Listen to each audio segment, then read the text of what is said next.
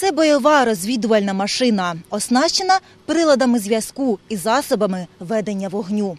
Саме така техніка нині використовується у зоні проведення бойових дій на сході України.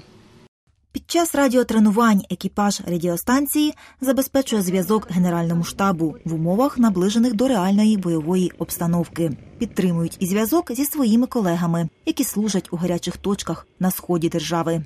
мы отрабатываем радиосвязь в комплексе э, в подразделениях, которые обеспечивают боевые действия. Это прежде всего подвижная база, бронебаза. Это командно-штабные машины. Поэтому здесь э, наши ребята учатся работать во взаимодействии с другими подразделениями, которые участвуют в зоне АТО.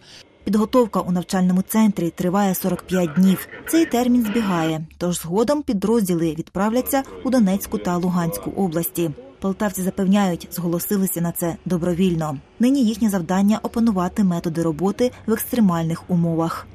Ну, насчет, насчет ворога, що перешкоджає нам передавати, в нас теж, в нас теж є засоби зв'язку, що ми ну, посилаємо, що він не знає, що ми посилаємо. Нас може, як кажуть, засікти. У нас е, за 4 секунди станція пере, пере, налаштовується на іншу частоту. Тобто, в принципі, ворогу буде важко.